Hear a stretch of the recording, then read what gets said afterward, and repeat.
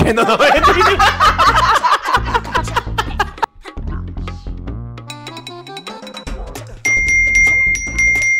Ah, Hola amiguitos, ¿cómo están? Un jueves a los tiempos, ¿no? sí, qué bestia, gente. Le estuvimos abandonados Sí. los jueves, pero los domingos. No ha nos faltado, esa es la plena, no, no ha faltado, ya nos, Sí, sí, ya nos sí, hemos pasado, ya salió el capítulo del David, ya nos no nos han funado. No, no nos han funado todavía y eso es algo muy bueno, la verdad. La gente Pero- nos, n- pero nos ha dicho que estuvo muy chistoso, Sí, sí, que sí, el gente. mejor capítulo hasta ahora. Díganos ustedes, ¿quieren que hablemos de más temas así? ¿A quién quieren que le preguntemos dónde se han puesto cosas? La plena. ¿En dónde les han pinchado? Ustedes díganos, ¿no?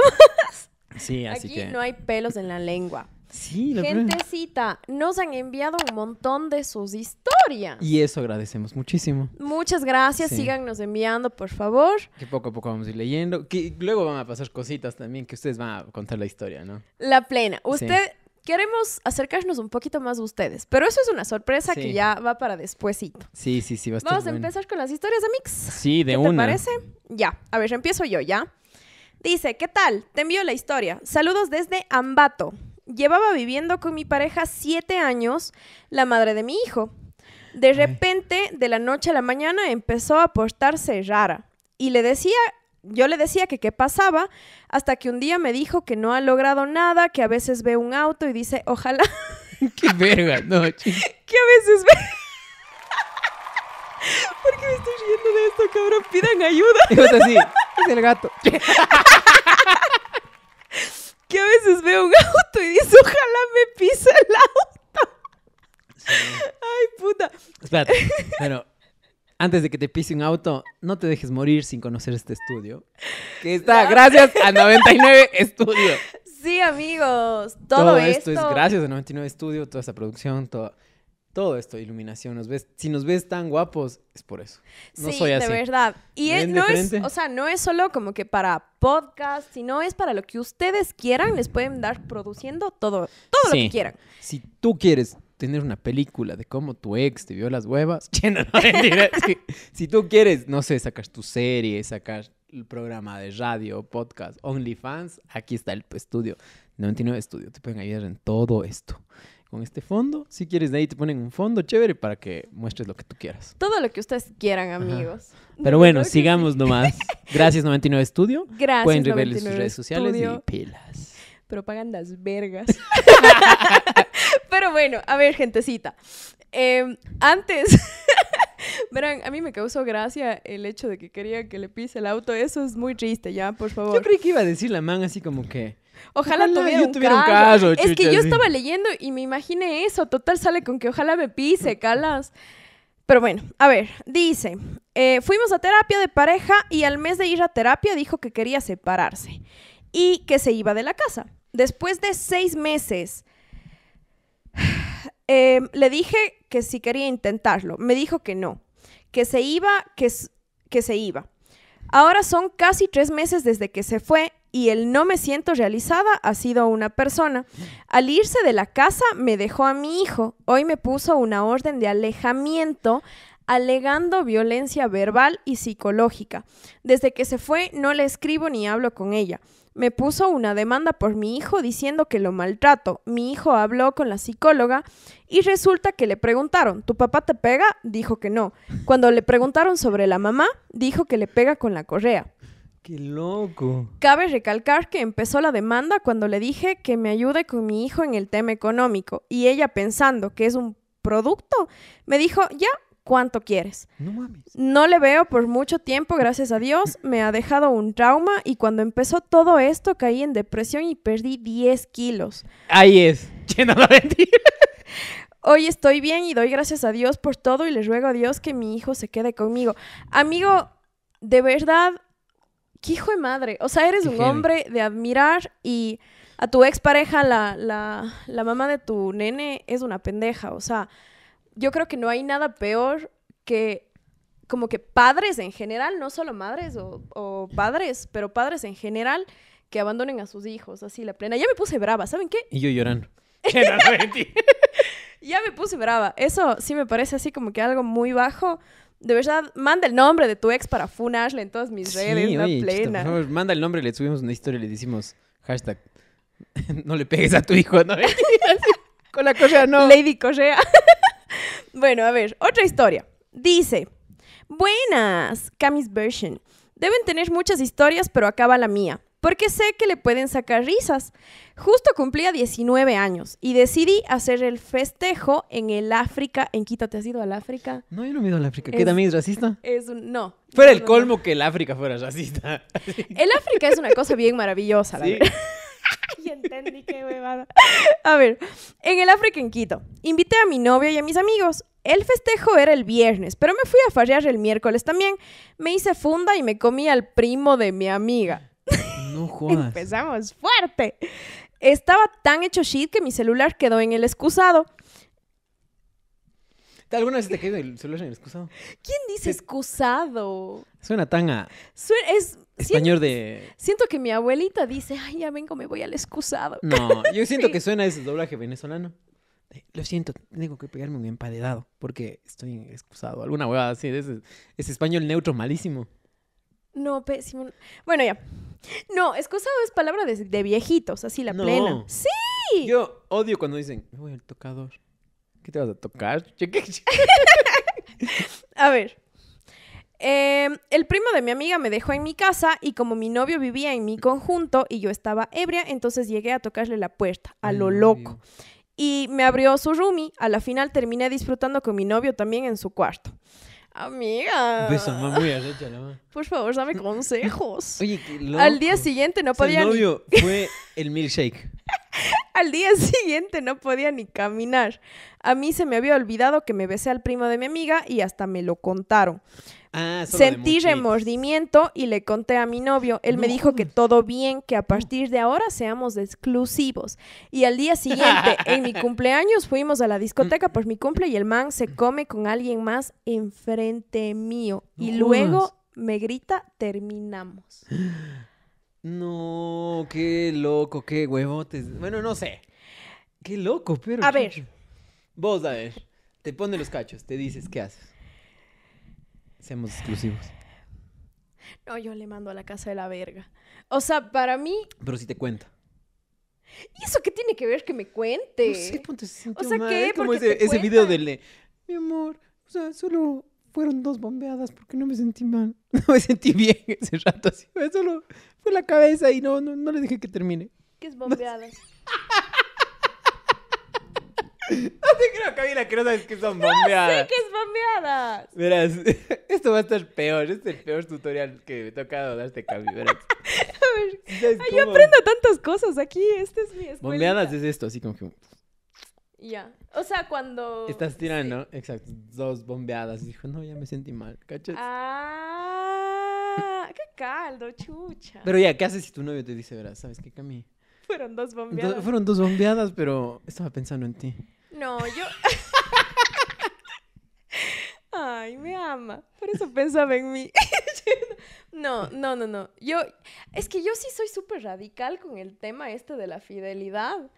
Em, yo sí Que me si le como siguen ver. a una persona, me enojo. Oye, verás, esto les voy a contar entre la intimidad de nosotros, ¿ya? Eh, sí te conté que estoy saliendo con un chico. Ajá. El man es súper tranquilito, o sea, les voy a ser bien sincera, yo siempre me consigo gente tranquila para que puedan eh, tolerar y tenerme paciencia a mí. Pero yo estoy loca, o sea, yo soy súper celosa, yo sí estoy loquita y toxiquita. Y ayer salimos con mis amigos y, o sea, como que el man coge su celu y yo vi que estaba en su celular y el man estaba como que tipo chateando con gente del trabajo. ¿talas? Y dije fresco, así, o sea, está chateando con gente de su trabajo. Total, veo que se mete a Instagram. Y Ya. yo, sí, a ver, ¿qué, qué ve? ¿Qué está viendo? A ver, ¿qué está viendo?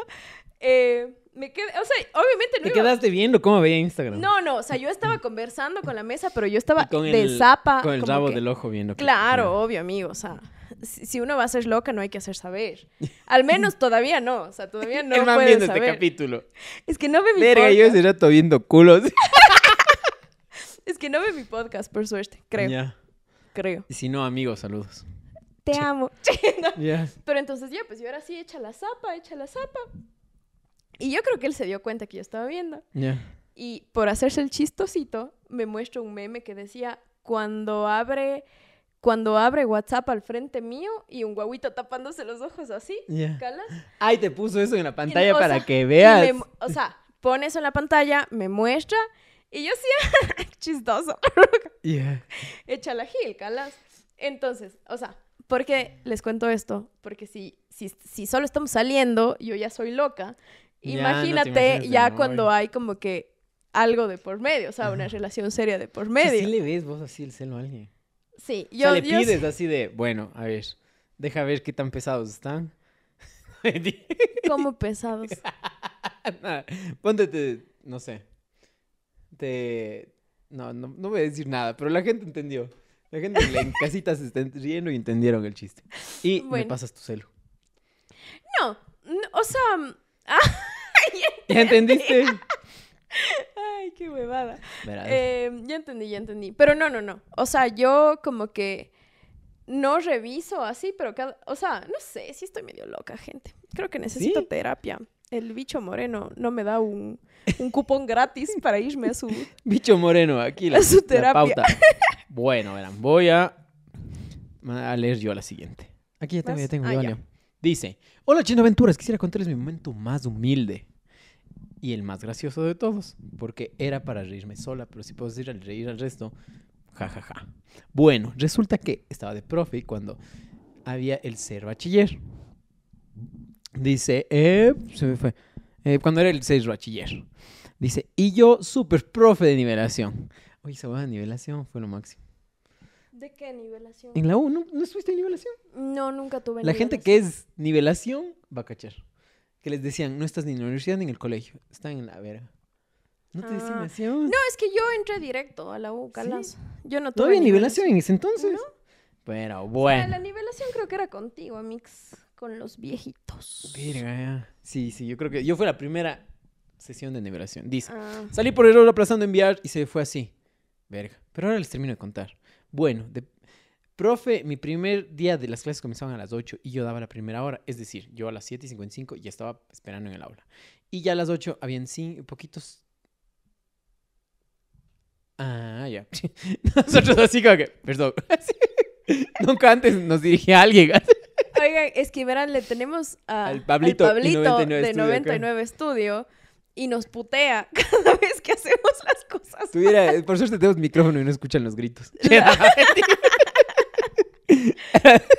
Si, si nos ven así como que, ¿qué pasa? ¿Qué pasa? Nos están gritando. Che, no, mentira. Nada. Acá no les gritan, les tratan bien y les dan Cuba Libre. El mejor Cuba Libre de la historia. Aunque Cuba no sea libre. Continuemos. Dice, salí por error aplazando enviar y se fue así. Pero ahora les termino de contar. Bueno, yo era profe, sí, llegaba a las 7.55. Había unos 5, esperé hasta las 8 y 5. Claro, como siempre, los atrasados llegando a las 8 y 30. Cabe recalcar, como era mi primer día, les dejé pasar mi clase. Eh, ¿Cómo es eso que dejé pasar mi clase? O sea, les dejo pasar. a Ah, ya. Mi clase terminaba a 9 y 15. Cuando entre las 9 y 10 golpean la puerta y de nuevo yo ya molesta, le digo, pase. Y era un chico. Y él empieza el sermón de que deben ser puntuales y responsables. Y le digo a este chico, y usted debe levantarse más pronto para llegar a tiempo. Y solo por ser el primer día les dejo pasar. Pero ya el siguiente ustedes sabrán. Yo marcando autoridad. Total, el man se levanta y me dice, es que ya es hora de terminar la clase. Yo soy del, yo soy el otro profe. ¡No mames! No. Y dice, ¿y yo? ¿Por qué no me dijo cuando entró todos, incluida eh, yo? Nos reímos. Era carita. Qué goce eso. Denso. No me, no me imagino porque también, aparte los profes de nivelación y los chicos que daban nivelación, eran jóvenes. Relativamente Claro. jovencitos, jovencitos, jovencitos. O sea, ¿Vos te yo... pegaras a un profe? No, mis profesores todos son horribles. Pero sí había un jovencito así. Te pegaras a un profe. ¿Sabes que no? O sea, no, po- porque yo tengo como que mucho, muy metido en mi cabeza esto de que el hecho de tú meterte con tu profe, meterte con tu jefe y ese tipo de cosas son eh, normalmente relaciones que tienen que ver mucho con el abuso de poder. Eh, y es Con el abuso de poder. Sí, Pero a ver, ya, ahorita que hablamos de- del abuso del poder, ¿te gusta tener el poder? obvio. ¿En qué? No sé, el adquisitivo, por ejemplo, es muy importante. El No. poder El adquisitivo. poder adquisitivo a mí me interesa demasiado. O sea, no sé, pero ponte. ¿Por qué te digo esto de abuso de poder? Eh, y yo creo que ya eh, contamos, cuento esto ya como que para terminar. Pero Pero de poder ustedes pueden suscribirse primero. sí, la plena. Oigan, mucha gente- suscríbanse, ven nuestros videos Las y historias no se suscriben. Estamos viendo que mucha gente ve los videos y les apreciamos muchísimo, pero péguense una suscribidita, un comentario, un like. Suscribidita. No sé cómo puede ser eso. ¿Qué? ¿Cómo puede ser? Péguense un, una suscribida. Una suscripción. Ah, exacto. Suscríbanse para que les notifiquen cuando subimos los videos. Que se vienen cositas. Eh, tal vez yo creo que va a haber alguna cosa solo en Facebook. Sí, Sí. gente. Pero bueno, a ver, verás. ¿Ya se suscribieron? Sí. Ahora sí seguimos podemos contando. continuar. ¿De qué poder te gusta? Ay, a mí me encanta el adquisitivo, ya quedamos. Pero, a ver, ¿por qué te digo esto del abuso de poder? Cuando yo fui presidenta de AFU, hubo un caso en AFU que me, me voló la cabeza, así, mal ¿Por plan. qué? Em, no puedo contar esto, obviamente. Ah, bueno, ya. Pero este caso tenía como que mucho que ver con el tema este, así como que de abuso de poder hacia una persona, Calas. Y tú no entiendes como que el daño psicológico que te causa. Claro. O sea, sean hombres, sean mujeres, Sí, full. te, te causa mucho daño psicológico. Entonces es un tipo de violencia que tú no te das cuenta y que lamentablemente tenemos muy normalizado. Es por eso, o sea, que, que así, venga, Brad Pitt de profesor de matemática cuántica, le voy a decir así, estás bien delicioso, pero no gracias. Así. Sí, no te dejaras Sí. de. Así ya, te llega Henry Cavill. Y te Ay, dice, quiero abusarte con todo el poder que tengo. ¡Estúpido! A ver, ¿te dejas abusar? Con todo el poder, ¿o no? Yo le dijera solo... Con, de poder puedes, lo que quieras. es que por eso te llamas Gabriel. Exacto. Pero no, yo, yo sí creo que sí. Sí me dejara. ¿Sabes qué? Esa- ese tipo de cosas son cosas como que de hombres que no le entenderías así. ¿Qué cosa? Como que a mí me causa mucha risa tus chistes pendejos, pero es porque yo soy fresca, sí. Claro. Pero te vas con otra persona. Ah, no, puchicas. Hay gente que sí ya me quiere meter demandas. a Que no los... ya. O sea, es que ya te Puta, mamas vos también. Yo, en ese video de lo del cura Cordero, había comentarios de... eh, dice, yo me reí, pero mi abuelito casi me pega por verme. Es que no... y así de, verga, ¿quién te manda a ver eso al lado de una víctima? Che, no, no. Gente, Pero sí, creo que con esto podemos terminar. yo creo que con esto hoy. terminamos. No se metan con sus profesores, Sí. no se metan con sus compañeros de la carrera, Mm. no se metan tampoco con, con su sus jefes, no abusen de con su poder a otras personas y tampoco se dejen Y abusar. suscríbanse y todo lo que quieran. Síganle allá en el 99 Studio. Sí, Vayan gente. Y verán, yo hoy día, justo ahorita le acabé de decir al gato, si es que llegamos a 5000 suscriptores, yo prometo por mi dedito meñique que me abro un OnlyFans de pies. ¿Quién Les prometo. El, el- el pie de la cama. Mi pie súper sensual. Y, y decimos, y donamos una fundación de Camila Pineda. niños sin pie. niños diabéticos. niños con gota. Pero bueno, no, ya. Aquí, la Cami, su anuncio. Gente, de verdad. Si llegamos a 5000 suscriptores en Chendo Aventuras, en YouTube, en YouTube, Pero tomamos una fecha límite, porque si no, calas. 5000 vamos a llegar algún rato. claro, pero no sé, ah, puede ser hasta, No sé, no sé, el Día de la Mujer. Che, no, no, mentira, te imaginas. hasta el primero de mayo, el día del trabajo, Ya. Porque Y, y la Cami abre su nuevo trabajar en. OnlyFans es muy difícil. Sí. Eh, sí, les juro que me abro un OnlyFans de un dólar y les subo fotos de mis pies durante un mes entero. Ya. Ya. Así que si quieren ver los pies de la Camila, aquí está.